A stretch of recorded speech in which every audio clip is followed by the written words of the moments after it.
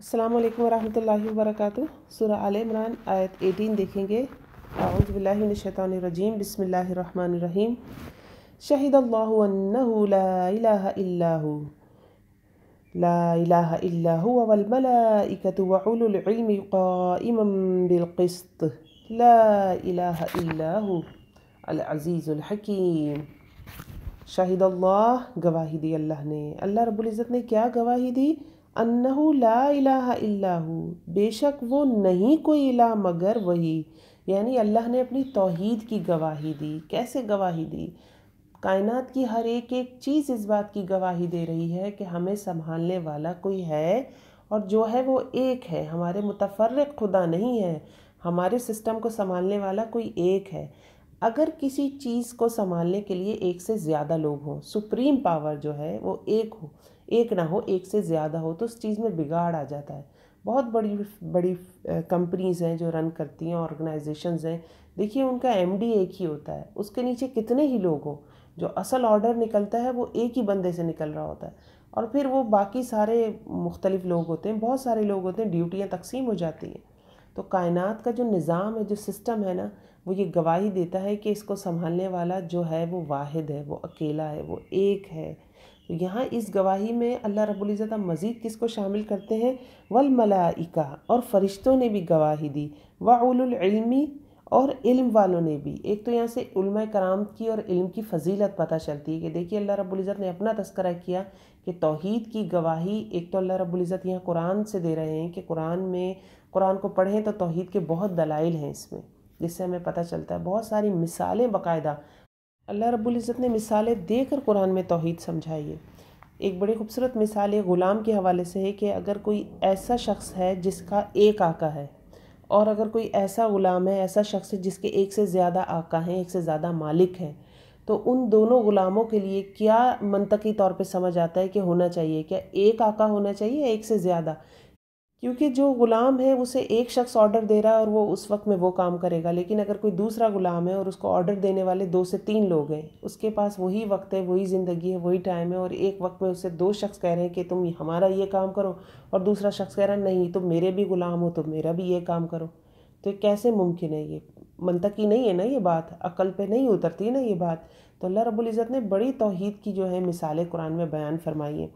اب یہاں پہ اللہ رب العزت فرشتوں کو بھی ساتھ شامل کر رہے ہیں کہ فرشتوں نے بھی گواہی دی اللہ کی توحید کی۔ پھر اول العلم، علم کی فضیلت پتہ چلتی ہے، علماء کرام کی فضیلت پتہ چلتی ہے۔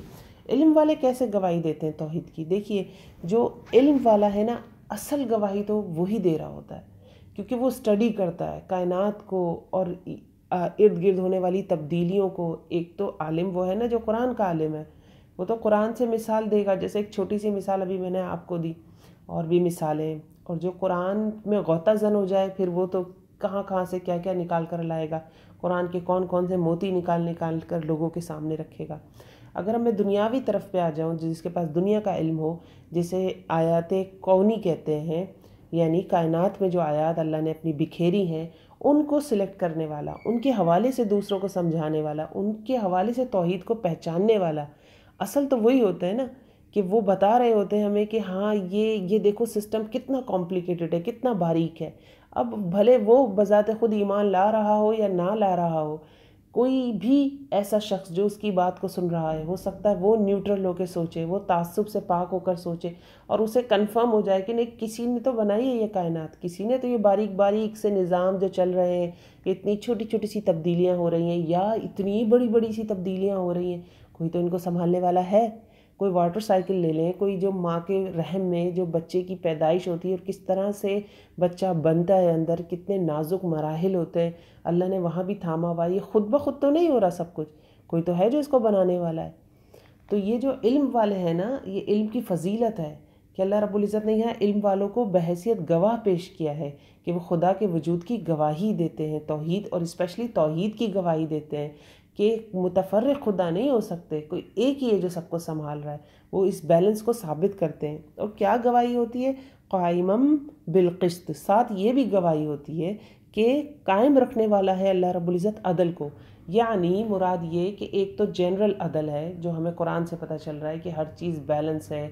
ہمارے احکامات بیلنس ہیں، ہمارے عوامر اور ہمارے جو نواحی ہیں، جن کا حکم دیا گیا ہے، جن کو روکا گیا ہے۔ اسلام، جن سے روکا گیا ہے، اسلام دین فطرت ہے۔ فطرت کے حساب سے اسلام میں قوانین مختص کیے گئے ہیں۔ یہ سارا عدل ہے۔ ایک عدل کائنات میں ہے۔ کائنات میں کیا ہے؟ دیکھیے، اتنے بڑے بڑے ستارے ہیں، سیارے ہیں، آسمان میں ٹھہرے ہوئے ہیں، سورج چاند ہے، آپس میں نہیں ٹکراتے، ہر چیز بیلنس میں ہے، انسان مرتا ہے، زمین میں گھل مل جاتا ہے، جانور ہیں، مرتے ہیں، درخت ہیں، مرتے ہیں زمین میں گھل مل جاتے ہیں، کھاد بن جاتے ہیں، ان سے وہ کہیں اور یوٹیلائز ہو جاتے ہیں۔ ہم آکسیجن مثال کے طور پر پھیپڑوں میں اپنے داخل کرتے ہیں، پھر ہم کاربن ڈائی آکسائڈ نکال رہے ہیں، وہ کاربن ڈائی آکسائڈ کہیں اور استعمال ہو رہی ہے، کہیں اور چلی جاتی ہے۔ ایک بیلنس ہے، ہر چیز بیلنس میں چل رہی ہے۔ اربوں خربوں مخلوقات ہیں چیونٹیاں مچھلیاں کتنی مچھلیاں ہیں سوچیں کتنی مچھلیاں ہیں۔ اللہ رب العزت سب کو رزق دے رہے ہیں، ایک بیلنس چل رہا ہے ہر چیز کا۔ تو یہ کیا ہے ساتھ ساتھ گواہی؟ یہ بھی گواہی ہے کہ قائم قائمم بالقسط، کہ اس کائنات کو بنانے والا جو کہ اللہ رب العزت ہے، اس نے بڑا زبردست قسم کا عدل قائم کر رکھا ہے۔ اور ساتھ ساتھ کیا لا الہ الا ہو، کوئی نہیں مگر صرف وہی۔ دوبارہ یہ پچھلی آیت کے پچھلے حصے سے، شروع والے حصے سے کنیکٹ ہوا۔ العزیز الحکیم اور وہی غالب ہے اور حکمت والا ہے۔ یہ والے صفاتی نام کیوں آ رہے ہیں؟ اس لیے کہ کائنات میں عدل قائم کرنے کے لیے، قائم رکھنے کے لیے، کائنات کو تھامے رکھنے کے لیے نہ صرف قوت ہونی چاہیے بلکہ حکمت بھی ہونی چاہیے۔ صرف غلبہ ہونا چاہیے، بلکہ ساتھ ساتھ حکمت بھی ہونی چاہیے نا کہ کسی چیز کے کو کیسے سنبھالا جائے، کسی چیز کو کیسے مینیج کیا جائے۔ یہ دو چیزیں ایسی ہیں جو صرف اور صرف اللہ کی ذات میں موجود ہیں۔ انسانوں میں جب غلبہ ہوتا ہے تو عام طور پر حکمت نہیں ہوتی۔ ہم غالب ہیں نا، ہم اپنے مال پہ غالب ہیں، ہم اپنی زندگی پہ غالب ہیں۔ کچھ کچھ حد تک ہمیں دیا گیا اختیار کہ جو ہمارا مال ہے، جو ہمارا وقت ہے، ہم اسے کہاں خرچ کرتے ہیں۔ لیکن دیکھیے، ہمارے فیصلے حکمت سے خالی ہیں۔ ہم حکمت ہے، لیکن کامل یا ایپسلیوٹ حکمت نہیں ہے۔